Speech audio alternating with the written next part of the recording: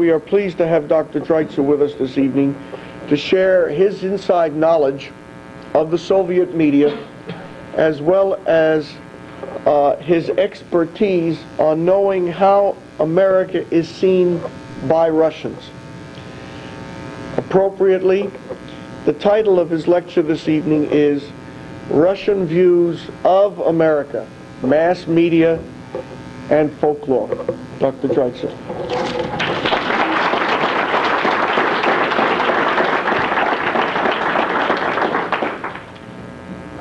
Uh, first of all, I wanted to apologize.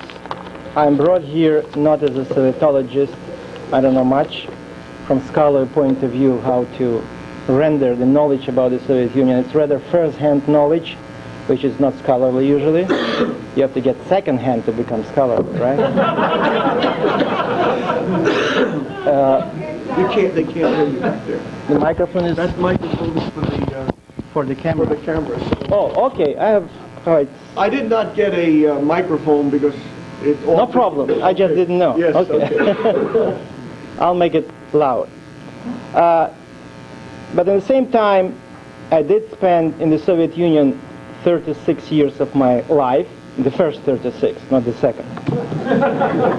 and uh, obviously, some uh, things I might know about how Russians see America. But I have to say that for myself was really a puzzle. Can we say in, in just in one sentence how Russians see America? And the answer is no. And when we look back uh, to the beginning of this century, we would see very strange views of America, very unexpected from what we customarily uh, feel the attitude toward America should be among, let's say, Russian intellectuals. Well, most of you, uh, I'm sure, know that Russia was a backward country in relationship to to America of that time. And probably one would expect that leading Russian intellectuals who were radical in their thinking, who called for improving the condition of Russian people, Uh, for change, radical changes in the society, that they would come to America and see some things that they would like to take back to Russia to change the social order of things. But believe it or not, by and large, it didn't happen. By and large, leading Russian intellectuals coming to America found mostly faults. Mostly they said, no, we don't want things like that in Russia happen. Well, even back in the time of Dostoevsky, one of his novels uh, idiot, I believe it's in the audio, idiot, the idiot. Um, view of America is, uh, of course, rendered as a view of one of the characters, and she said, coming from the West in general, and from America in particular, that it's a very materialistic country. There's a lack of spirituality. There's a lack of positive kind of feeling uh, toward humanity and so on. So no, America was condemned. Now, the leading proletarian writer, Maxim Gorky, I'm sure most of you recognize the name, came to America in 1906. He stayed six months in the United States, mostly in New York, and as a result of it, he published uh, several uh, sketches. One is, is called City of the Yellow Devil, which means New York and the yellow devil is a dollar. So what he saw in America was that exactly what Russian uh, workers and Russian peasants shouldn't follow. So he was full of sentimental declaration of Russian superiority. Despite Russian social backwardness, he saw that this particular backwardness in time will send the Russian people way above and in front of Americans because they are too down to the ground to grab the dollar. That was his opinion. But interesting enough, that when we talk about writing of minor writers, of people of not that international standing as Maxim Gorky, we see a different picture. There have been a lot of uh, sketches published in Russian periodicals about life in America, all the way positive. And as a matter of fact, from 19, from the beginning of the century, for another 14 years, 116,000 of ethnic Russian emigrated to the United States, believing that that's the future for them and their families. Mostly peasants, mostly unskillful workers. And they, by and large, were successful in settling in America. Now, when revolution started in Russia, in 1918, Lenin saw and believed that in a short period of time, American workers will follow Russian workers, will overthrow the capitalist system, and will join in the world revolution. Well, it didn't happen. Lenin said that America is a country of multimillionaires and capitalist sharks. But he admitted, so far it is the freest and the most civilized country in the world. He was marveled by the economic and technical achievements of America. But he said, we have to make America here same technical and economical achievements have to be have to be reached in Russia, but without the capitalist system, on the grounds of socialism. So American inventiveness and the in practical and technical matters actually in Russia was proverbial from the time Russians have learned about Franklin and Fulton. Any Russian would know that about Edison's phonograph, phonograph, about Bell's telephone, about Otis' elevator, about Kodak's camera, and so on. It captured Russian mind. As a matter of fact, much later, even up to these days, Russians would wonder how come Americans didn't cure cancer yet. they are good at everything. That kind of a vision. While at the same time Lenin claimed that America is actually the chief obstacle to the world revolution. And because uh, and it is uh, a country where is uh, appalling unemployment and poverty. And there is a waste of human labor side by side with unprecedented luxury of multimillionaires. So Lenin predicted that after the World War I, American workers will be with us means with the Soviets, for civil war against bourgeoisie. Now, later on, in 1925, a leading Russian revolutionary poet, Vladimir Mayakovsky, who admired everything American before he visited America, everything what he seems to be the most advanced, the machinery, the uh, tempo of life, the achievements of every side of. So Russia was seen so much backward. We have to rush forward to things that America have. When he came to this country, he stayed here for a couple of months. It was summer. It was summer heat in New York, if you know what I mean.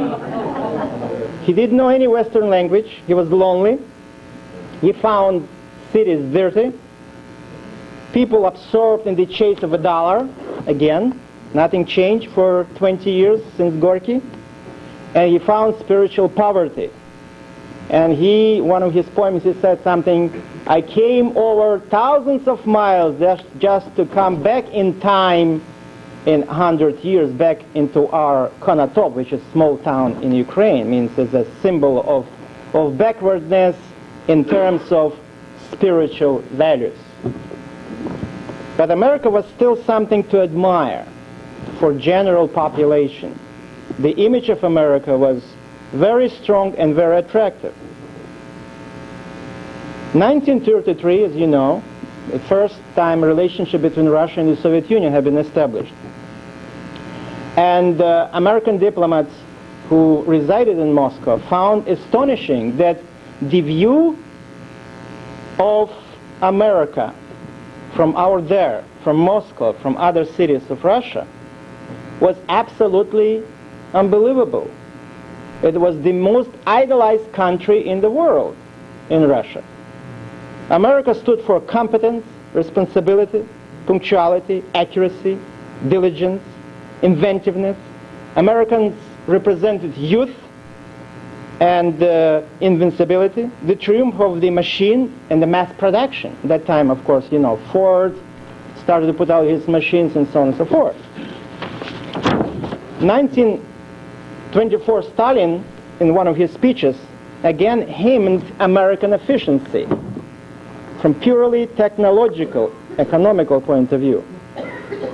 And it's no, it's no coincidence that there have been 3,000 American engineers working in Russia in the 30s when, when the, the so-called five-year plan started to be implemented. So technology, American technology was used in two-thirds of the new plants built at that time in the Soviet Union. Every, from three pieces of, of uh, machinery, two were from America or designed by American engineers. Well, first of all, let's ask ourselves a question. Why Americans? Why not Germans? Why not Englishmen?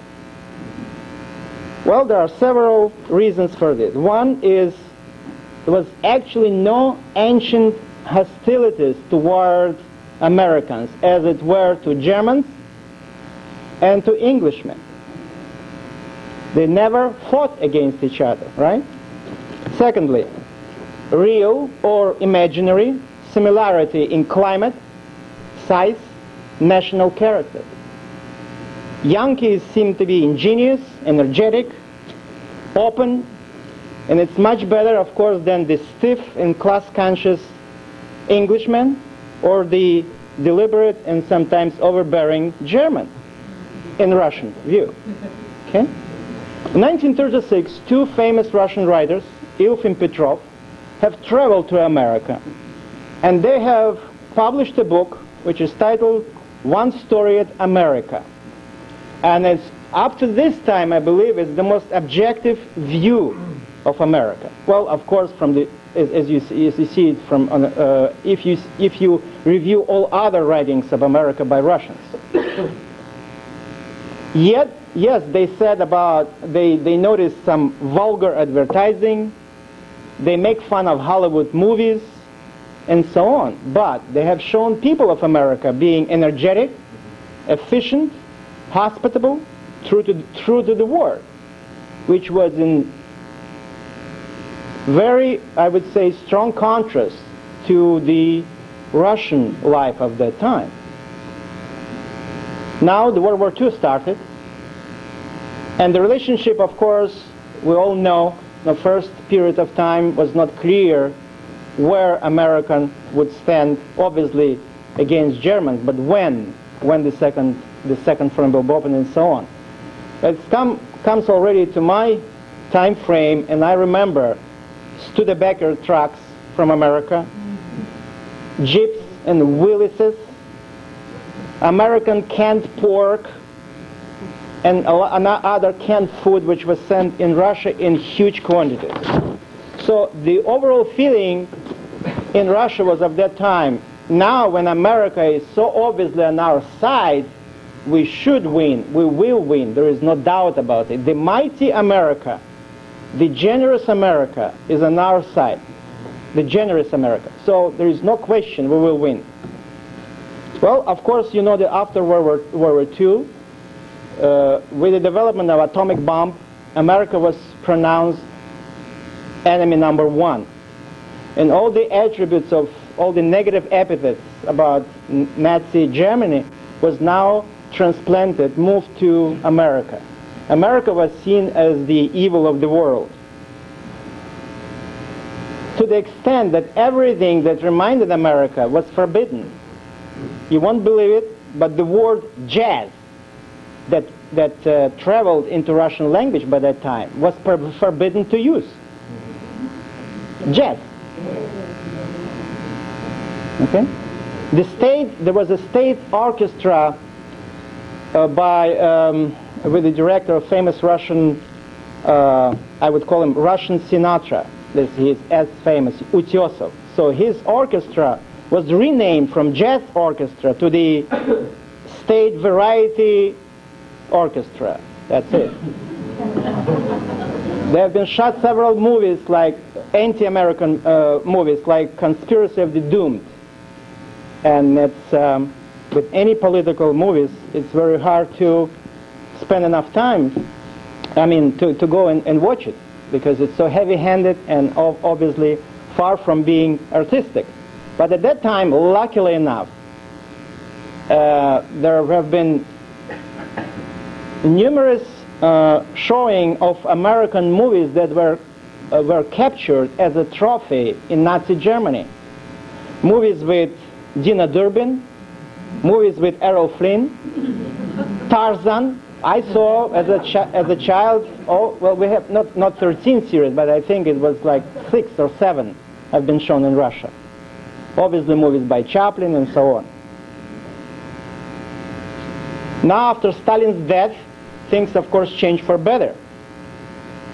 An attempt has been made, probably the first time, to, st to start to see America more objectively.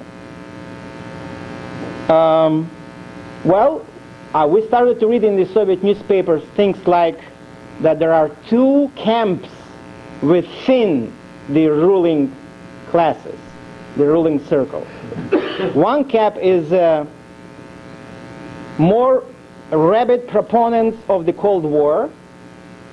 Another one is more far-sighted representatives of the imperialist ruling circles. So the far-sighted means they saw further, they saw there is no gain in being anti-Soviet, right? So in this area of political um, coverage of the relationship, at least two colors appear after one, I have to realize. And of course with détente, things started to change. But it might surprise some of you if you don't, didn't follow the Soviet press, that even of the height of détente, Russian papers kept writing about America, that it is a doomed society. At the time when Khrushchev said that we will overrun America within a decade, by production per capita.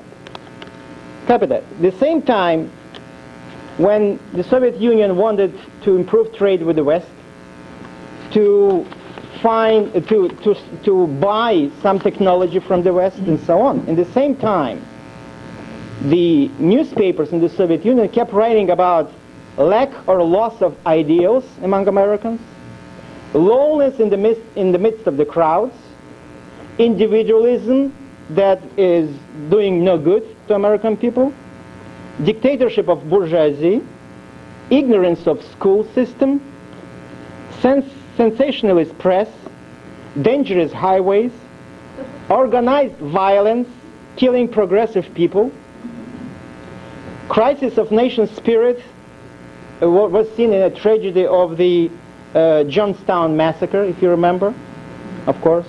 Yes.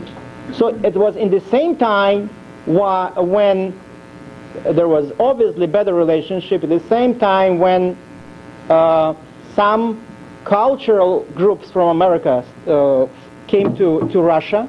1962, Benny Goodman traveled to the Soviet Union, and I attended one of his concerts in Kiev. Uh, at that time, we, we have seen uh, American ballet first time. Joffrey Ballet traveled to Russia. We have seen some uh, orchestras, symphony brought from America and so on. Nevertheless, there was a, there was a fear in the ideological echelons of the party that it, that might be contagious, that might be not too good for people to see that after all, America is not such a complete desert in terms of culture. They have something that Russians can admire.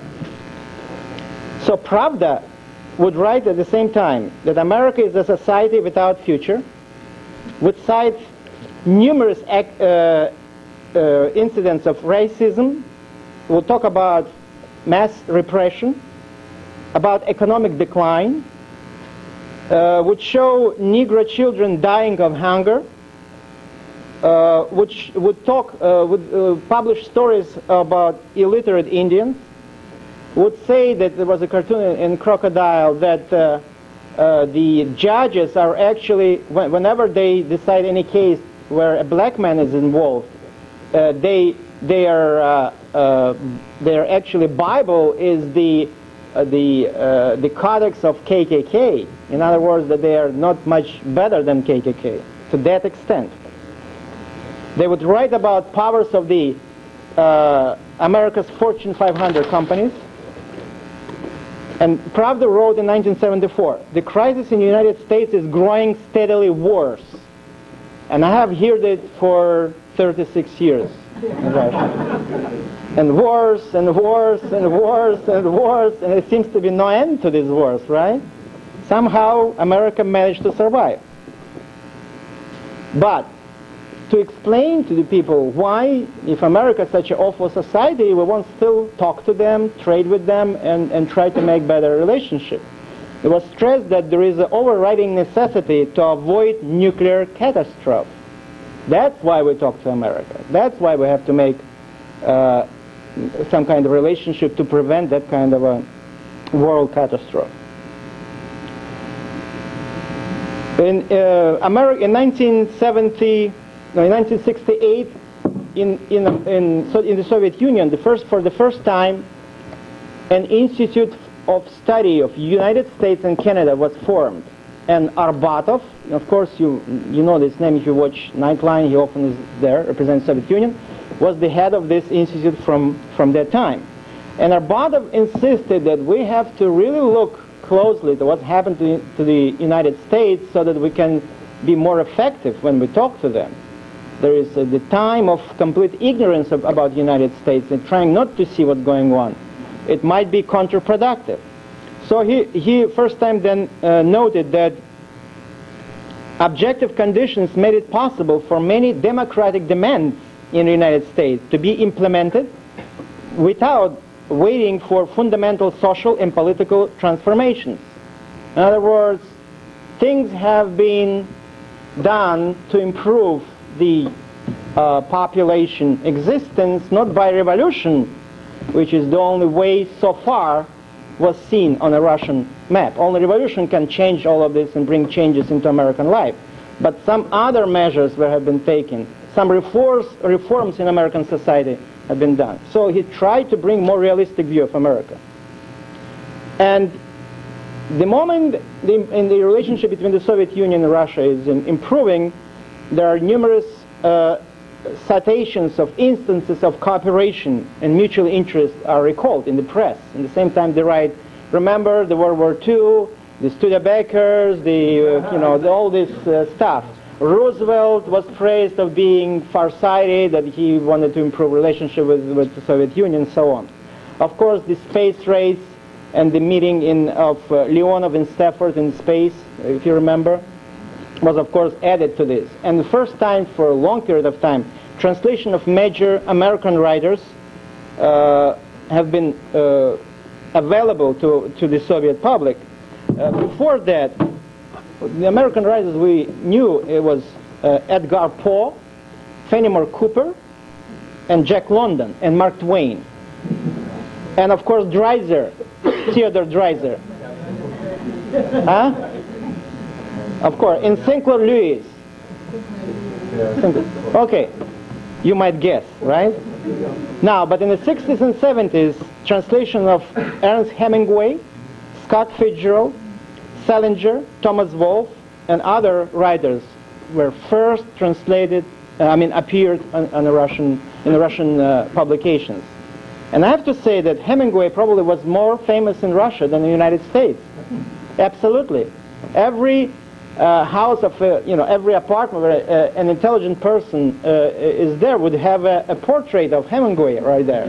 And obviously all the, you know, some, uh, the, the five or three volumes of his work were translated, and, new, and every time anything appeared by him was immediately, you know why? The way the, I, I think about it, it, because he exactly represented the image of American, American as it was seen back in the 30s, as being a strong man, a hunter, a macho man, and at the same time he's kind, the same, I mean, you know, the same kind of image was behind this, uh, his writing.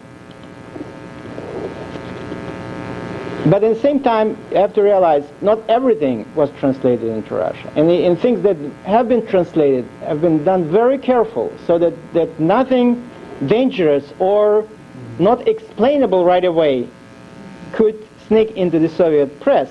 For example, one novel of, of Updike was translated, the Centaur, how do you say it in, in English? Centaur. Centurious, yeah. No, no, no, no, no. That's Centurious. That's one. Oh, but, but everything, but everything after that was not translated. The only thing we saw a criticism about this novel, but they are not good, and he shouldn't. He should stop writing that kind of novel. Henry Miller was never translated. You know why, of course. and so on. And even those things, the weapons were stated, there were clips cutting out several scenes uh, which were not ideologically uh, right away acceptable. So, that's the picture which probably news items and how an event in American life would be presented in the mass media to the Soviet uh, readers. Again, from the magazine Crocodile. It's a translation of an October issue of last year. A short kind of article titled uh, A Gift to Your Mama. A new service is widely catered to the American public that every American must provide for his old mother. It is expressed in the advertising motto seen on many t-shirts and bumper stickers that reads, Kill a communist for your mother.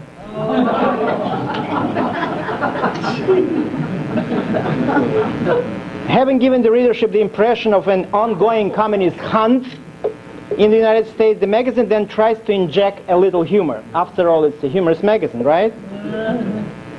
I translate. It's not clear what one should do afterwards to deliver the corpse of a communist as a present to one's mother's home or bring her to the scene of the murder so that she can rejoice in looking at it while it's still warm. That kind of a humor. Okay? And it's only a beginning, they continue. In the near future, one could expect the proliferation of t-shirts calling for the murder for the same mother's happiness, not only of communists, but of all others who get on the nerves of the American reactionaries. For example, Dr. Benjamin Spock and actress Jane Fonda, and then the rest of the activists of the anti-war movement in the United States.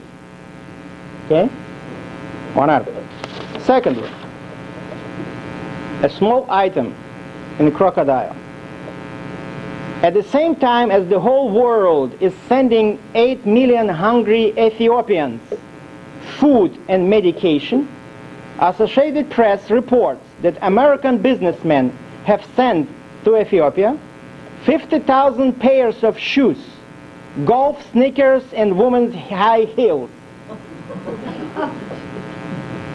Quoting Associated Press. Considering that, there is no other information of American help to Ethiopia is available to the Soviet reader, he's prepared to draw the right conclusion on what a heartless people Americans are. So you understand how this is a news item, how he was handled to show how many money, how much money was sent to Ethiopia, only we know. They don't. The, the average Russian doesn't know the, the amount of the, the whole campaign through the whole country and so on. And that's how it is handled. But in the same time, I was surprised. Despite all this barrage of propaganda for so many years, you won't probably find any Russian who would genuinely hate Americans. None.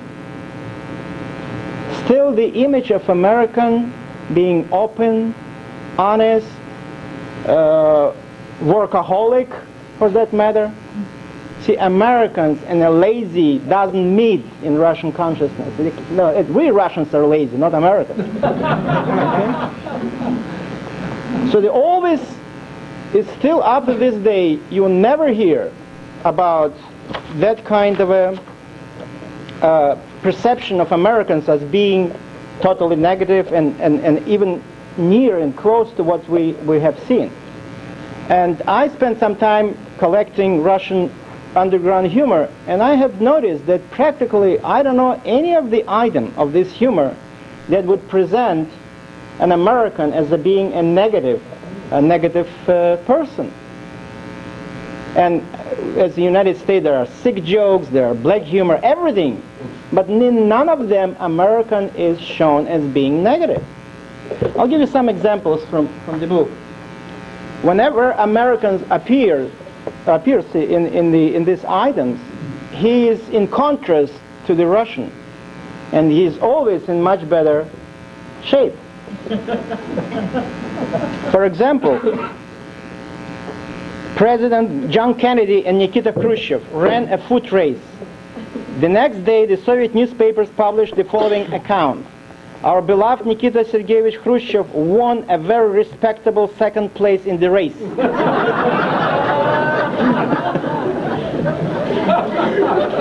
the American president barely managed to arrive at the finish line in the next to the last position.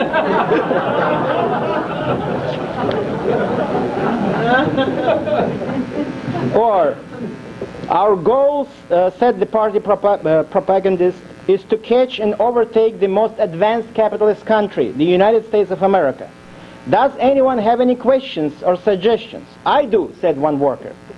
That's it, Petrov, said propagandist. Good man, you're, dis uh, you're displaying political activeness. Well, what's your suggestion?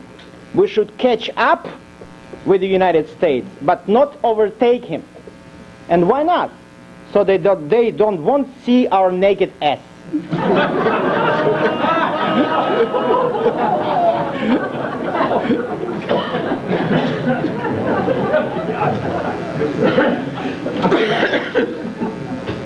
or after the Soyuz Apollo space flight, Leonid Brezhnev called to congratulate the cosmonauts. However, he also reproached them with the Americans are winning the space race. We must accomplish something to outdo them. They have already landed on the moon, so we in the Politburo have decided to send you for a landing on the sun.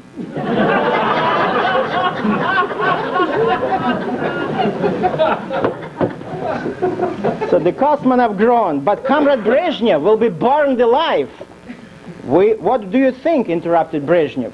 That we don't understand anything? Don't worry, we have already planned all the details. First of all, you're going to complete the landing at night. Thank you for attention.